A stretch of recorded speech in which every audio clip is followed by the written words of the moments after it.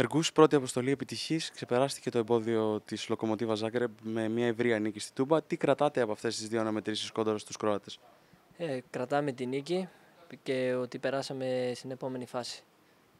Η επόμενη αντίπαλος Σπαρτάκ Τρινάβα. Ένα ταξίδι μάλλον στο άγνωστο, χωρίς να έχετε πολλές πληροφορίες για τους αντιπάλους. Ε, πού πιστεύεις ότι θα, κρυφθεί, θα κρυφθούν αυτές οι δύο αναμετρήσεις; Κοιτάξτε, παίζουμε στην έδρα μας. Θα πρέπει να μπούμε από το πρώτο λεπτό να κερδίσουμε, ε, να πάρουμε ένα προβάδισμα για το επόμενο μάτς. Είναι, παίζουμε στην έδρα μας και πιστεύω ότι θα, καταφέ, θα το καταφέρουμε. Είδαμε την ομάδα στον επαναληπτικό της Τούμπας να πετυχαίνει στις τρεις πρώτες ευκαιρίες τις τρία τέρματα. Την είδαμε να σκοράρει 6 γκολ, ρεκόρ συλλόγου στις ευρωπαϊκές διοργανώσεις. Ε, τι έχει αλλάξει στον ΠΑΟΚ σε σχέση με το πρώτο μάτς του Ζάγκρεπ και τι αναμένουμε να δούμε ακόμα πιο διαφορετικό στο μάτς της Τούμπας με τη Σπαρτάκ; Κοίτα, τα 6 γκολ που βάλαμε τυχαίνει, δεν γίνεται σε κάθε μάτς να μπαίνουν πολλά γκολ όπως μπήκαν τώρα στο τελευταίο 6 γκολ.